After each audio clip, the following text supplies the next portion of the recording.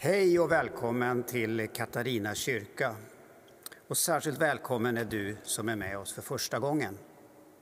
Vi som är med er idag är Robert som läser text.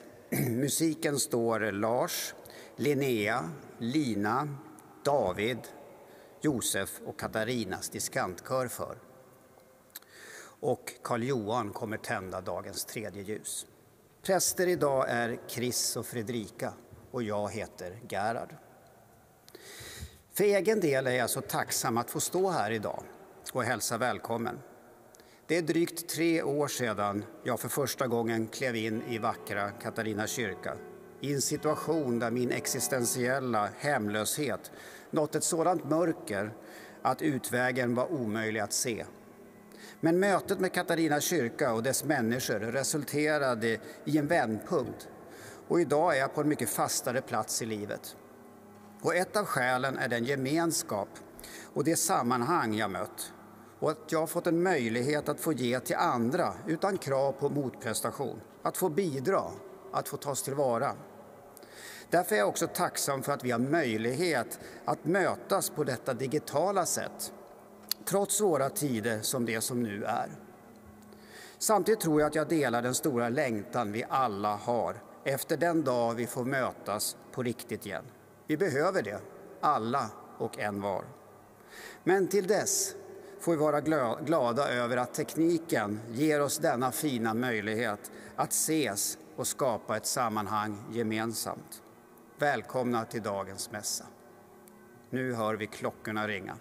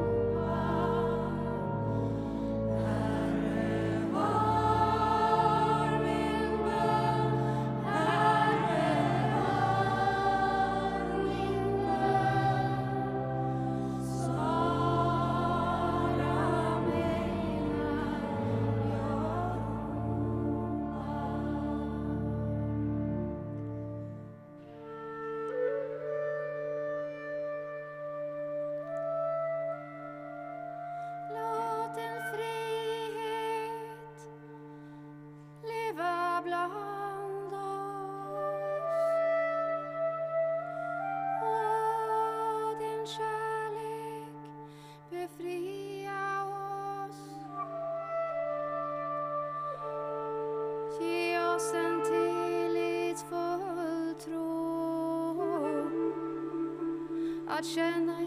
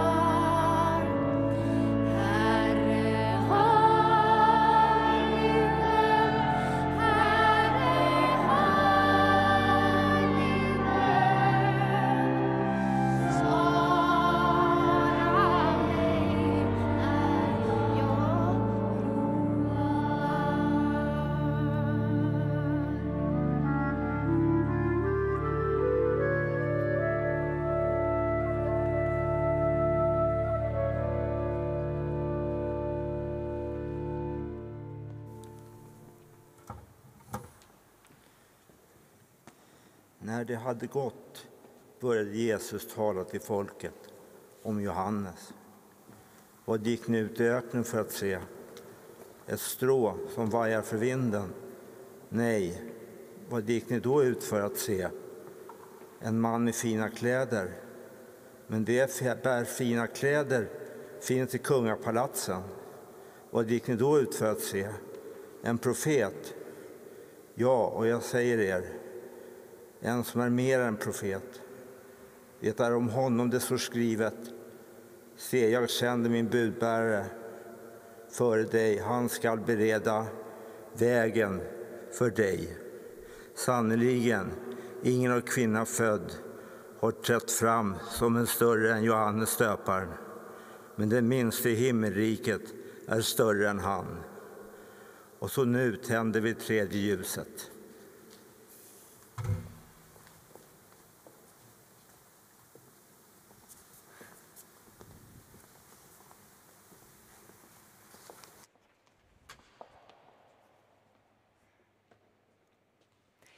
Dagens text. Det heliga landet, 2000 år sedan. Johannes döparen sitter fängslad och hör om Jesus av Nasarets mirakel. Vad ska Johannes tro? Stämmer allt fantastiskt som han hör? Och Jesus som svarar Johannes utsända lärjungar. Gå och berätta för Johannes vad ni hör och vad ni ser. Också i den sista delen av dagens text som vi fick höra så talar Jesus om Johannes. Att han är en profet. Någon som banar väg för Gud. Och vad dagens text ger är också en förklaring om Jesus som är Guds son. Den som Johannes banade vägen för. I kyrkan så säger vi att Jesus var sann Gud, men också sann människa. Fulländat mänsklig, empatisk och älskande. Den kristna tron lär också att Jesus fanns innan oss. Han kom från Gud som den första sanna människan. Därför är han också sann Gud. Och det är mystiskt och obegripligt, jag vet. Men jag tänker på evolutionen, sakernas tillstånd och allt som förändras och rör sig i vår verklighetsuppfattning. Och parallellt med detta så förändras alltså inte Jesus utan är och förblir vårt ursprung och mål den villkorslösa kärleken. Vi är på väg. Vi är på färd genom kosmos och kaos. Genom historien, genom evolutionen för att bli de vi redan är. Sant mänskliga och långt där inne i våra hjärtan kanske finna Guds kärnan. potentialen till sann kärlek som är fulländad sann mänsklighet. Att färdas genom livet gjorde ont för Jesus. Ständigt missförstådd, ibland riktigt arg och ledsen förtvivlad, ångestfylld men också festande, generös, full av gudomlig visdom. Och samtidigt så tänker jag med honom också lekfull som barnet. För många av oss finns ett aktivt värnande om alla barn nära till hands. Det är så Gud kommer till världen. Vi värnar om barnen i världen. Vi värnar om barnen inom oss, dig och mig. Och i kyrkan här i Katarina säger vi nästan varje söndag att vi alla är just det, Guds älskade barn. Att dö och sedan uppstå, att bevaras, har jag i mina högst personliga meditationer och funderingar tänkt att det kanske handlar om att Gud mirakulöst räddar oss till att klara vårt liv med det där barnet, drömmen och kärleken i behåll. Och jag tror att det var just detta Jesus av Nasaret var mästare på. Sann människa och Gud som han var och är. Därav kan han berätta för oss hur det är i himmelriket. Den dag vi alla har blivit dem vi egentligen redan är. Profeten Johannes döparen skulle jag tro var en god bit på väg i sitt människoblivande. Och tragiskt läser vi senare att han avrättades för sin dröm.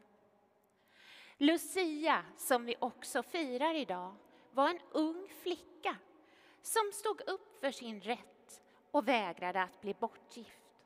Hon gick samma öde till mötes. Frågan är nu bara hur många fler som Johannes, Jesus, Lucia, Martin Luther King, Gandhi och många andra som ska behöva ge sitt liv för sanningen, rättvisan och freden. Därför att alla vi andra ännu inte kommit lika långt på vår färd och kanske inte lika lätt kan se och höra så klart som Johannes lärjungar kunde göra. Idag fick vi höra berättelsen igen. En inbjudan att mitt i den många gånger smärtsamma och dunkla resan som är livet börja följa våra hjärtan. Be om kraft och visdom att hålla oss till ljuset i mörkret, det tredje ljuset. Bli sanningsbärare likt Johannes och aktivt gå i Jesus av Nasarets fotspår. Mot toleransen, solidariteten, friheten som är befrielsen för oss alla.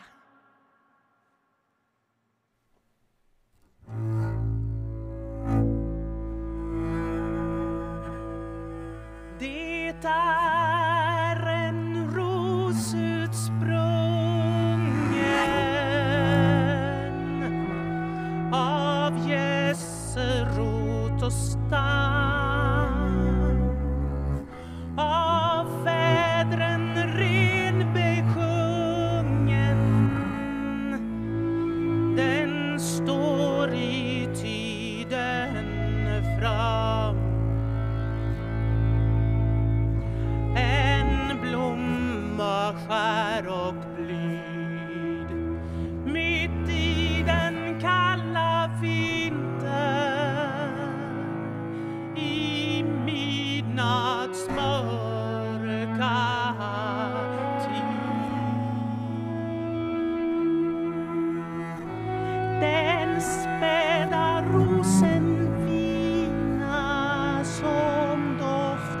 salighet.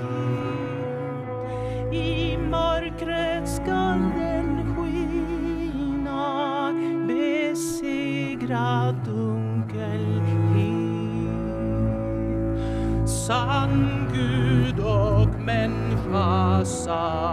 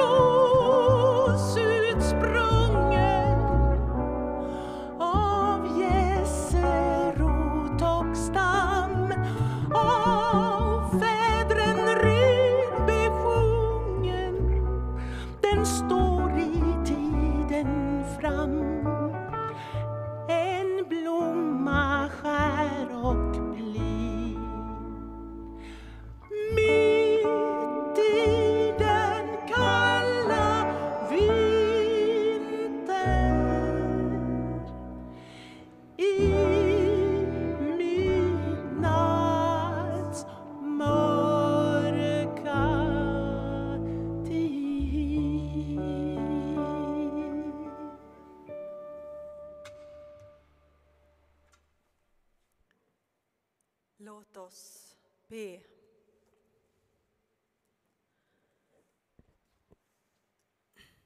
Gud, du som gör porten hög och dörren bred. Vidga våra sinnen i denna mörka tid och låt oss ta emot ditt varma innerliga ljus. Vägled oss i mörkret. Låt din sanning bana väg och lysa som en källa på slingrig stig. Du som ser och vet vårt innersta, vet den innersta längtan och vår mest mörka tanke och vår glädje. Allt tar du emot. Ge styrkan till oss och ge våra hjärtan så brinnande kraft så att vi kan förlåta oss själva och andra med det som är ditt i hoppets ord. Amen. Vi ber tillsammans Herrens bön. Fader vår som är i himmelen. Helgat varde ditt namn. Tillkomme ditt rike. Ske din vilja så som i himmelen, så och på jorden.